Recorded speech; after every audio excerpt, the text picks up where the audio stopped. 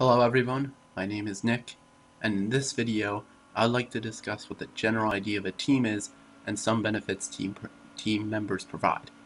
With this information, I hope you will be able to know what makes a great team and to possibly help any current or future team members watching this. I reached out to a smart friend of mine for his opinion on a team. His response was, quote, a team, a good team, is an absolute benefit. Division of labor is always good. It's important to know that a team is good because in the end, the work will be easier for everyone. Everyone does their load. Remember that the team needs to be working together. Think of all the times where you had to work in a group and there was this, and you made an assignment, and there was this one guy who didn't do it the next morning, so you had to deal with that pain in the neck. Everyone had that moment. That is the antithesis of a functional team. Everyone needs to pull their weight or do their load. And that's what makes teams good. Remember, division of labor is always good. To have an excellent team, the following points should be considered in no particular order. Number one, have some sort of connection with your teammates.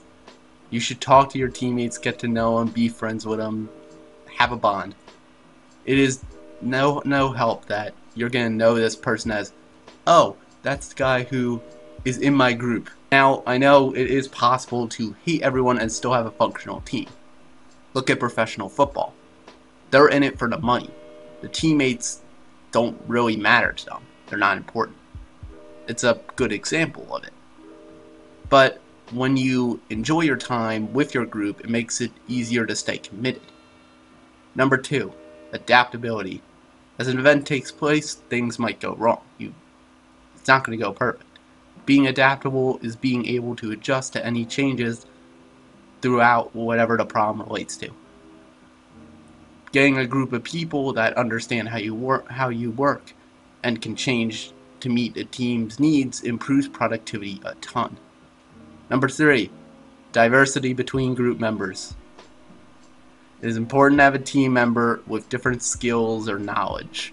Having the same guy isn't going to help you. It is important to have team members with different skill sets that can bring to the table for your group as a whole. Once you do, you can give team members specific roles. Connected to my next tip is number four, using your teammates the best way possible. And this is um, important if you could do it right.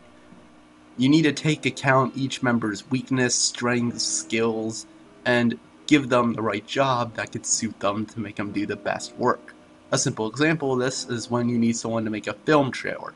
To do this, you need someone who is good, skilled, and loves video editing. So give that to that guy who qualifies for that.